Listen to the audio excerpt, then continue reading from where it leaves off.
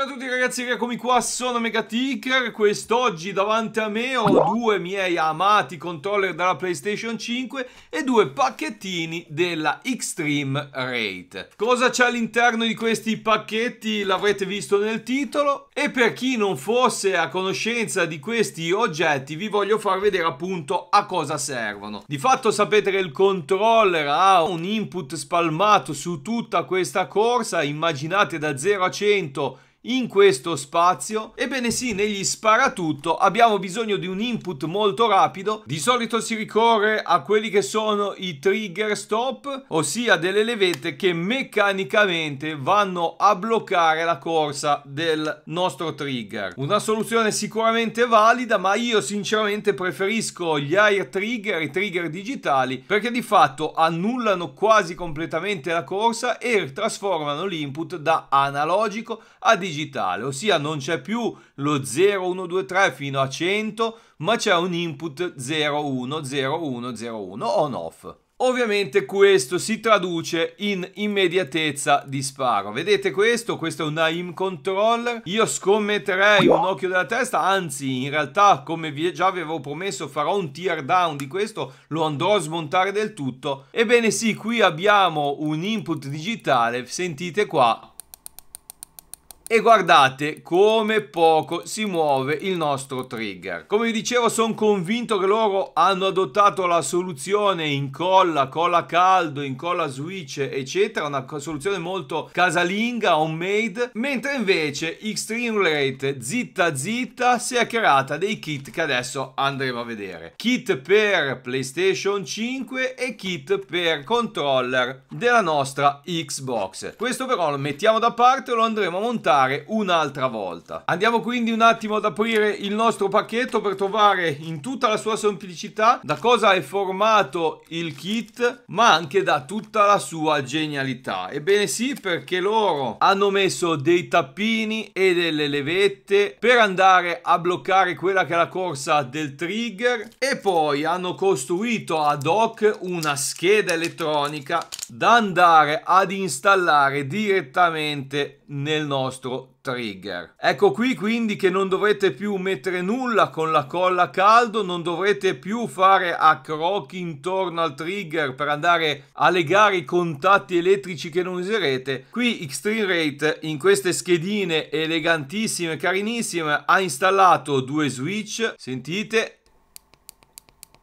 che vanno appunto a fare il comando del trigger e del bumper. Ricordo che la in controller io per esempio ho messo solo i trigger digitali, bumper costavano, non l'ho voluti mettere, non mi sembravano comunque essenziali spendere quei soldi. Qui con qualcosa intorno mi sembra ai 14 euro potrete andare a fare un full digital sul vostro controller. Mettiamo un attimo da parte comunque i pezzettini, andiamo come sempre a prendere gli attrezzi pezzi del mestiere l'unica cosa che vi consiglio che Extreme Rate non dà ma vi consiglio vivamente di utilizzare sono un paio di pinzette. Sì perché ci sono dei contattini talmente piccoli che spesso sicuramente viene bene usarle andiamo quindi a smontare il controller per chi non avesse visto queste modifiche queste che vedete in alto a destra vi lascio il link in modo che magari se adesso che velocizzo il tutto non capite qualche passaggio lo potrete andare a vedere negli altri video.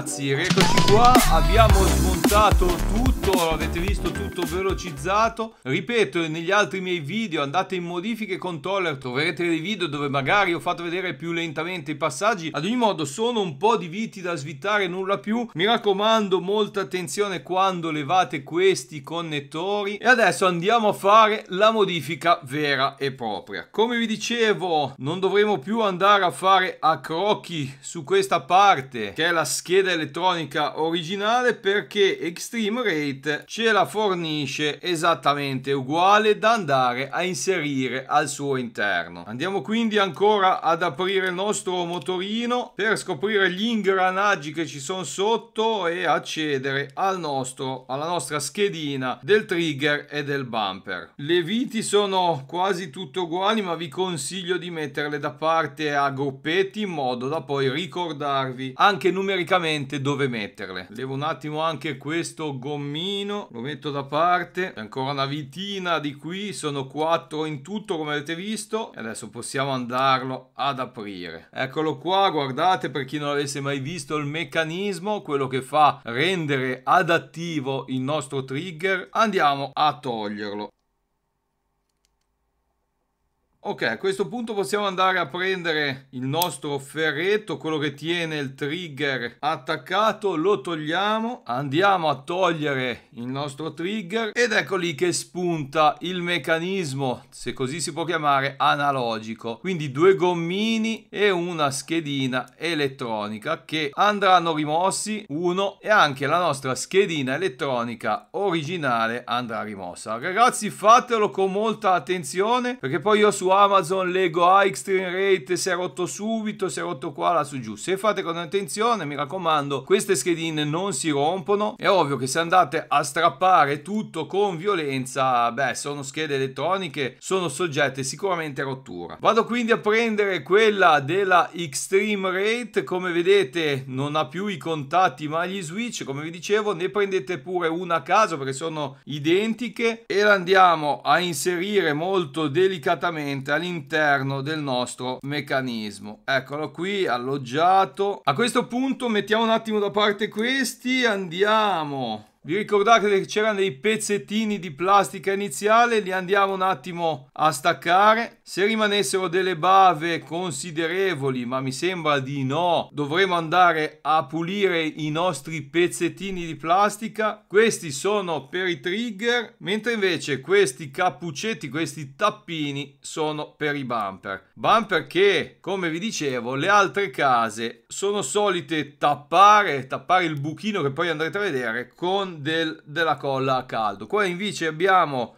quattro tappini, in realtà Extreme Rate offre sempre materiale in eccedenza, ne serviranno solo due, ad ogni modo l'ho già staccati, li vado a mettere qui e vi faccio appunto vedere dove vanno inseriti. R1, vedete che qui c'è un buchino, ebbene io prendo uno di questi tappini e ce li vado a conficcare dentro. Ovviamente lo mandiamo fino in fondo, fate un po' di pressione senza eccedere. Il tappino va fino in fondo, questo è lo spessore e il tappo che servirà per far funzionare il vostro R1. Stessa cosa ovviamente andiamo a fare nell'altro tasto L1, buchino, lo andiamo a tappare e voilà, anche di qui siamo pronti. Di fatto dobbiamo tappare perché questo è il punto di contatto che andrà a schiacciare il nostro switch, questo bianco Passiamo quindi ai trigger, vedete che qui ci sono due buchini, aspettate ve lo faccio vedere col cacciavitino, un buchino e l'altro buchino. Dovremo prendere uno di questi pezzettini e andarlo a inserire in quei due buchini. La difficoltà più grossa ovviamente è la dimensione dell'oggetto. Ad ogni modo lato alto, guardando per così il nostro trigger, quindi girato da questa parte, dovrà essere questo. Vedete qua c'è una discesina, di fatto c'è un pezzettino spiovente che sotto invece non c'è, dovrete andarlo a inserire in questa maniera. Eccoci qua, una volta messo dentro, lo andiamo a spingere come nell'altro caso fino in fondo. A questo punto possiamo andare a inserire il nostro trigger al suo posto. Quindi vedete che qua c'è una linguetta, andiamo a scavallare, a buttarla dentro. Mettiamo il nostro trigger in posizione. Una volta che i buchi sono allineati non dovremo far altro che andare a reinserire il nostro cilindretto metallico. Andiamo un attimo a vedere se il trigger preme lo switch sotto, direi di sì. E quindi andiamo a chiudere il nostro meccanismo meccanismo. Qui c'è da fare una piccola attenzione al montaggio della rotellina, fate esattamente come faccio io, quindi prendete questa mezza luna, vedete che il meccanismo ha del denti qua sopra, tenete la parte bassa rivolta verso di voi e quindi andate a inserire il vostro meccanismo in questa maniera. Parte tonda verso di voi. Così facendo poi quando andrete a mettere il martelletto, non so come chiamarlo, si andrà a incastrare perfettamente, come vedete, in questo punto. Questo è il modo giusto per inserire il nostro meccanismo all'interno del trigger adattivo. Vado a chiuderlo, mettiamo le nostre vitine, chiudiamo tutto e passiamo al passaggio successivo. Ok, passaggio successivo che si riassume mettendo questa schedina all'interno del suo contatto. Vedete che la schedina è bella rigida, viene bene, va dentro che è un piacere. Non dovrete quindi più andare a fare accrocchi, legarla da qualche parte, mettere schedine finte lì. Insomma, se avete visto dei tutorial su quello che si è fatto finora noterete la semplicità e la qualità del kit Extreme Rate. Stop, questo è pronto, lo andiamo quindi a rimettere al suo posto. Due vitine anche da questa parte. E siamo pronti a passare a quello di sinistra. La lavorazione è esattamente la stessa di prima. Andiamo a svitare, quindi sganciare.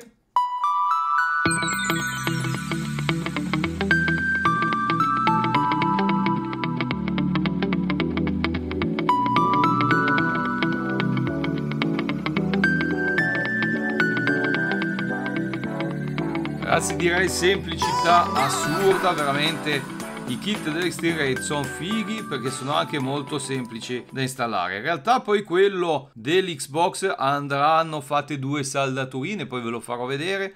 Ma nel caso di PlayStation, guardate che figata, che meraviglia, voi non dovrete andare a saldare nulla. Trigger funzionante, io sento il click, voi no. Vado a metterlo sotto al suo posto, gli vado a dare una vitatina e a questo punto non ci resta che tornare alle condizioni originali, rimontare tutto il controller e ovviamente provarlo. Ok ragazzi, abbiamo rimontato il nostro meccanismo, i trigger adattivi che non sono più adattivi ma sono diventati digitali. Ovviamente avrei dovuto dirvelo prima, fate molta attenzione a non strappare questi fili che sono quelli del motorino di vibrazione. Andiamo a riprendere la nostra scocca qui anteriore e adesso dobbiamo andare a ricomporre il tutto. Vado a mettere questo qui. Fate attenzione che questo contattino passi da questo buchino. È molto più semplice che nel controller della PlayStation 4 dove questo era veramente difficile da far entrare. Ricorrevo sempre a un piccolo accrocchietto. Assicuriamoci importantissimo ragazzi assicuriamoci che questa scheda sia in questa posizione. Dentro i due buchini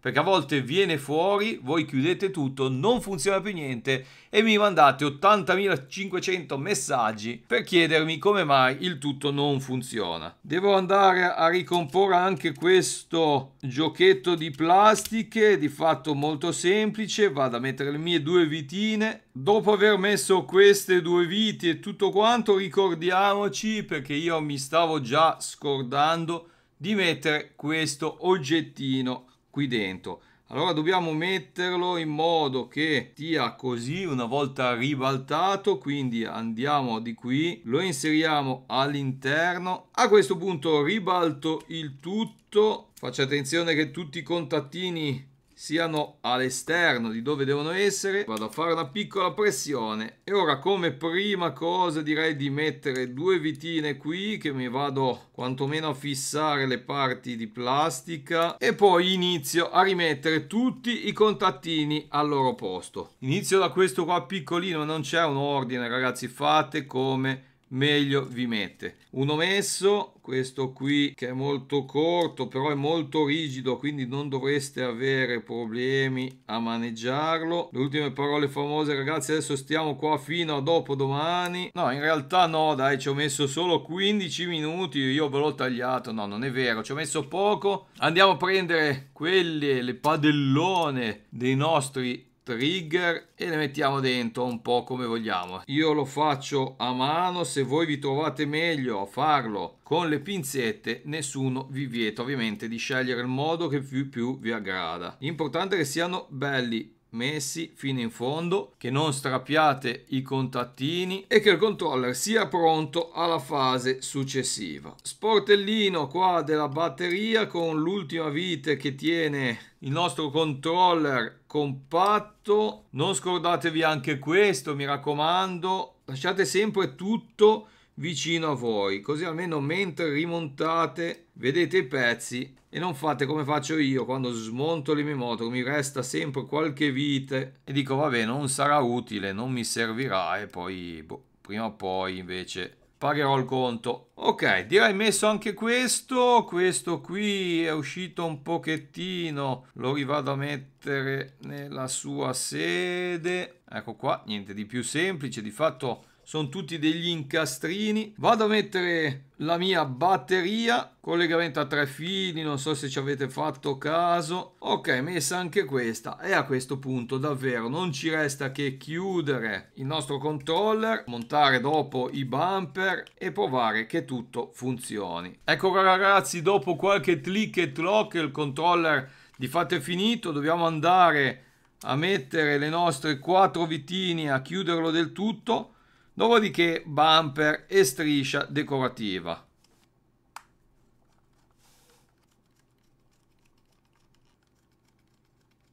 Ok, messe le quattro viti, mettiamo la nostra striscia decorativa. Striscia decorativa che vi ricordo essere anch'essa della Extreme Rate la trovate su Amazon qua nei dettagli lascerò tutti i link di tutti i pezzi che vedete compresi i tasti il touchpad insomma tutto quello che vedete di diverso su questo controller. Vado a mettere i miei bei tastoni i miei bei bumper e il controller di fatto è pronto per andare in battaglia. Ok ragazzi, prima di passare alle conclusioni volevo farvi vedere una piccola cosa sulla PlayStation da selezionare. Allora, come vedete intanto i nostri trigger funzionano assolutamente. La corsa, come vi volevo far vedere, è molto breve, con evidenti vantaggi qua in fase appunto di sparatutto. Anche i bumper funzionano, eccoli qui, la manata dello stregone spammandola rapidamente ma una cosa che consiglia Xtreme Rate è appunto di andare nelle impostazioni della PlayStation quindi da impostazioni andare su accessibilità controller e dove c'è scritto intensità effetto grilletto invece di forte mettere disattivato questo perché ovviamente i grilletti non hanno più la funzionalità di trigger intelligenti, non verrà il motorino anche se gira, non potrà muovere la nostra levetta che come vedete è bloccata a quell'1-2 mm di corsa e quindi dovete essere consapevoli che avete rinunciato alla funzionalità tipica del DualSense. Una particolarità, come vedete, ho due tasti, uno nero e uno rosso, non ve l'ho fatto vedere, ma ho fatto un po' di prove e ho capito che in realtà vi avevo dato un'informazione un po' sbagliata. Vi avevo detto appunto di spingere fino in fondo questo pernetto nero e invece se lo fate di fatto non essendoci più questo spessore qua sotto e quindi il tasto non, non va a appoggiare più su alcun elemento, se lasciate troppo spazio il risultato è che il tasto diventa un po' ballerino. Nulla di grave, ripeto, il tasto funziona alla perfezione, però se scuotete il controller, come sentite un leggero rumore magari a qualcuno potrebbe dar fastidio. Ebbene, se invece di spingere con l'attrezzino il vostro pernetto all'interno lo spingete solo con il dito, con la forza che avete nel dito della mano, resterà un po' più esterno e il risultato appunto che il tasto, come vedete, è molto molto più fisso. Sentite che non fa rumore, mentre invece questo qua lo fa perché, ripeto, è semplicemente un po' più staccato.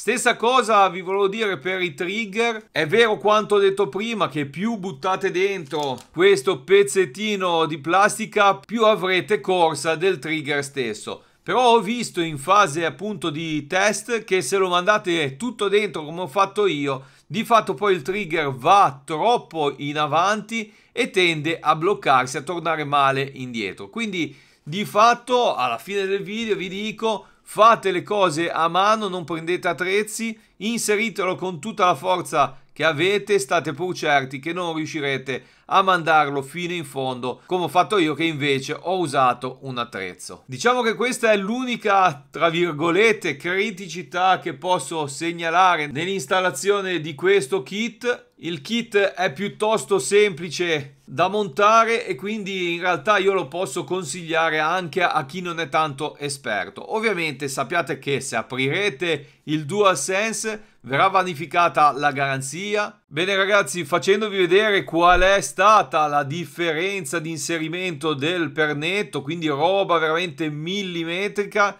io sono al termine del video. Non posso fare altro che ovviamente consigliare questo prodotto, costa veramente poco, mi sembra intorno ai 14 euro, comunque vi lascio il link in descrizione. È un kit che poi si andrà ad aggiungere col kit che tutti stiamo aspettando sempre in rate del remap, due tasti aggiuntivi rimappabili. A quel punto, quando ce l'avremo tra le mani, ovviamente io lo porterò sul canale, lo monterò e di fatto avremo un controller che nulla avrà a che invidiare a una IM controller. Per oggi è tutto, ricordatevi di registrarvi, accendete la campanella perché molti video interessanti arriveranno sul mio canale. Se giocate a Fortnite, codice Megaticker per supportare il mio canale, così come acquisti tramite i link Amazon che troverete in descrizione, sempre a scopo di supportarmi. Un saluto a tutti, qua è Megaticker, ci vediamo alla prossima e ciao!